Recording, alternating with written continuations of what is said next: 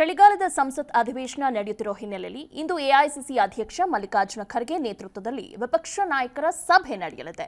Bharat China ಸೈನಿಕರ ಸಂಘರ್ಷವನ್ನ ಪ್ರಮುಖ ಅಸ್ತ್ರವಾಗಿಸಿಕೊಂಡು ಉಭಯ ಸದನಗಳಲ್ಲೂ ಕೇಂದ್ರ ಬಿಜೆಪಿ ಸರ್ಕಾರದ ವಿರುದ್ಧ ಮುಗಿಬೀಳಲು ಕಾಂಗ್ರೆಸ್ ಪ್ಲಾನ್ ಮಾಡಿದೆ. ಅಲ್ಲದೆ ನಿರುದ್ಯೋಗ, ಹಣದುಬ್ಬರ ಸೇರಿದಂತೆ ಪ್ರಮುಖ ಸಮಸ್ಯೆಗಳನ್ನು ಸದನದಲ್ಲಿ ಪ್ರಸ್ತಾಪಿಸಲು ಕೈಪಾಳಿಯ ರಣತಂತ್ರ ರೂಪಿಸಿದೆ.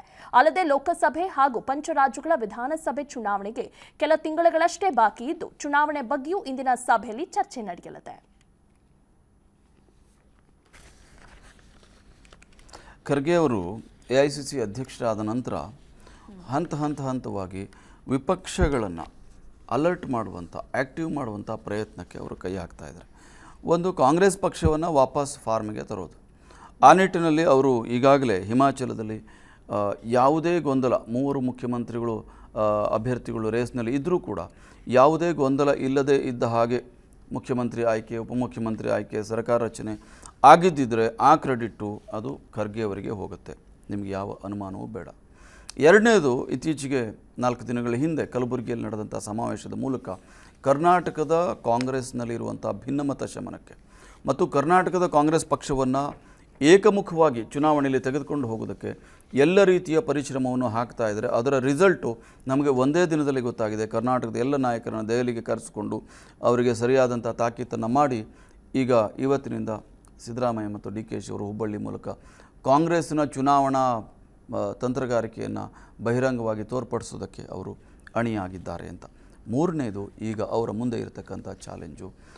ಖರ್ಗೆ ಅವರ ನೇತೃ ವ್ಯಕ್ತಿತ್ವ ಹೇಗೆ ಅಂದರೆ ಅವರು he is acceptable to all ಅಂತ. ಅವರಿಗೆ ಶತ್ರುಗಳು ಕಡಿಮೆ. ಎಲ್ಲರನ್ನೂ ಒಟ್ಟಿಗೆ ತೆಗೆದುಕೊಂಡು ಹೋಗ್ಬೋದು. ಆ ಕೆಲಸ ರಾಹುಲ್ ಗಾಂಧಿಯವರಿಗೆ ಸಾಧ್ಯ ಆಗ್ತಿರಲಿಲ್ಲ. ರಾಜಕೀಯ ಇಮ್ಯಾಚುರಿಟಿ ಮತ್ತು ಅವರ ವ್ಯಕ್ತಿಗತವಾದಂಥ ಹಲವಾರು ದೌರ್ಬಲ್ಯಗಳ ಕಾರಣಕ್ಕೆ ಅವರು ಕಾಂಗ್ರೆಸ್ ಪಕ್ಷವನ್ನು ಮಾತ್ರ ಅಲ್ಲ ಬೇರೆ ಪಕ್ಷಗಳು ಅವರನ್ನು ಅಕ್ಸೆಪ್ಟ್ ಮಾಡಿಕೊಳ್ಳುವಂಥ ಸಾಧ್ಯತೆ ಕಡಿಮೆ ಇತ್ತು. ಇವತ್ತು ಖರ್ಗೆ ಅವರು ಯಾವುದೇ ಪಕ್ಷಕ್ಕೆ ರೀಚ್ ಆಗುವಂಥ ಒಂದು ವ್ಯಕ್ತಿತ್ವವನ್ನು ಹೊಂದಿದ್ದಾರೆ ಅವರು. ಮತ್ತು ಅವರನ್ನು ಸರಿಯಾಗಿ ನಿಭಾಯಿಸುವಂಥ ಜಾಣ್ಮೆ, ಆ ರಾಜಕೀಯ ಅನುಭವ ಕೂಡ ಇರೋದರಿಂದ ಕೇವಲ ಈ ಚಳಿಗಾಲದ ಅಧಿವೇಶನದಲ್ಲಿ ಕೇಂದ್ರ ಸರ್ಕಾರವನ್ನು ತರಾಟೆಗೆ ತೆಗೆದುಕೊಳ್ಳೋದು, ಕೇಂದ್ರ ಸರ್ಕಾರವನ್ನು ಬೇರೆ ಬೇರೆ ರೀತಿಯಲ್ಲಿ ಕಾರ್ನರ್ ಮಾಡುವಂತಹ ಪ್ರಯತ್ನ ಮಾತ್ರ ಅಲ್ಲ, ಇದು ಆರಂಭ. ಮುಂದಿನ ದಿನಗಳಲ್ಲಿ ರಾಷ್ಟ್ರಮಟ್ಟದಲ್ಲಿ ಚುನಾವಣೆಯಲ್ಲಿ ಸ್ಥಾನಗಳಿಗೆ ಏನಾಗುತ್ತೋ ಬಿಡುತ್ತೋ. ಆದರೆ ಇದುವರೆಗೂ ವಿಪಕ್ಷಗಳನ್ನು ಒಗ್ಗೂಡಿಸುವಂಥ ಒಂದು ಪ್ರಯತ್ನ ಆ ರೀತಿಯ ವ್ಯಕ್ತಿತ್ವವೇ ಇರಲಿಲ್ಲ. ಯಾವ ಪಕ್ಷದ ಮಾತನ್ನು ಯಾರೂ ಕೇಳುವ ಸ್ಥಿತಿಯಲ್ಲಿರಲಿಲ್ಲ ಆದರೆ ಇವರೆಲ್ಲರನ್ನು ಒಗ್ಗೂಡಿಸುವಂತಹ ಒಂದು ಕೆಲಸವನ್ನು ಖರ್ಗೆ ಮಾಡಬಹುದು ಅನ್ನುವ ನಿರೀಕ್ಷೆಯನ್ನು ಹುಟ್ಟು ಹಾಕಿದ್ದಾರೆ. ಅದರ ಪರಿಣಾಮವಾಗಿ ಇವತ್ತು ಈ ಸಭೆ ನಡೀತಾ ಇದೆ. ಈ ಸಭೆಯ ನಂತರ ಮುಂದಿನ ಬೆಳವಣಿಗೆಗಳು ಭಾಳ ಇಂಟ್ರೆಸ್ಟಿಂಗ್ ಆಗಿರುತ್ತೆ ರಾಷ್ಟ್ರ ರಾಜಕಾರಣದಲ್ಲಿ. ಓಕೆ ಸರ್ ಮುಂದೆ.